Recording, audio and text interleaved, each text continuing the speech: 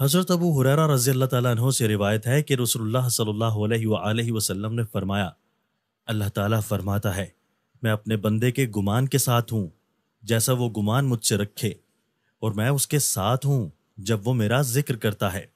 अगर वो मेरा दिल में ज़िक्र करता है तो मैं भी दिल में उसका ज़िक्र करता हूँ, और अगर वो मेरा ज़िक्र लोगों में करता है तो मैं उन लोगों से बेहतर लोगों में उसका ज़िक्र करता हूँ, और अगर वो मुझसे एक बालिश्त नज़दीक होता है तो मैं एक हाथ उसके करीब होता हूँ, और अगर वो चल कर मेरे पास आता है तो मैं उसकी जानब दौड़ कर आता हूँ।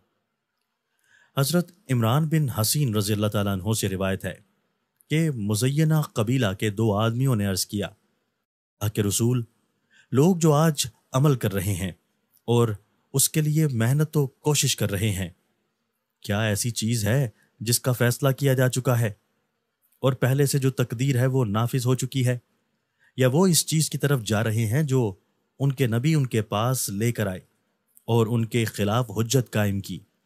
आप सल्लल्लाहु अलैहि वसल्लम ने फरमाया, नहीं, बल्कि ये एक ऐसी चीज़ है जिसका उनके मुतल्लिक फैसला हो चुका है और उनके बारे में नाफिज हो चुकी है और उसकी तस्दीक अल्लाह अज्जवजल की किताब में है और नफ्स की कसम और उसकी जो कुछ उसने दुरुस्त किया।